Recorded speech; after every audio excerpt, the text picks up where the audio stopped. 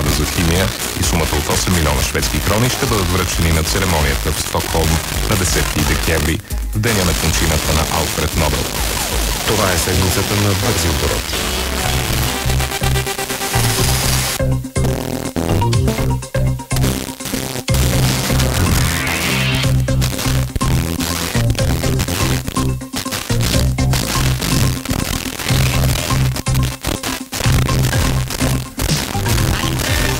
Дилма Русев спечели 42% от гласовете на първия тур на президентските избори в Бразилия срещу 34 на 100 за основния и опонент социал-демократа Есио Невиш.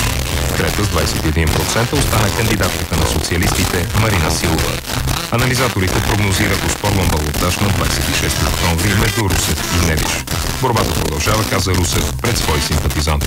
um recado que diz que eu devo seguir em frente. Този резултат е послание към мен, че трябва да продължа напред, че трябва да продължа да се боря рамо до рамо с всеки един от тези избиратели, за да променим Бразилия.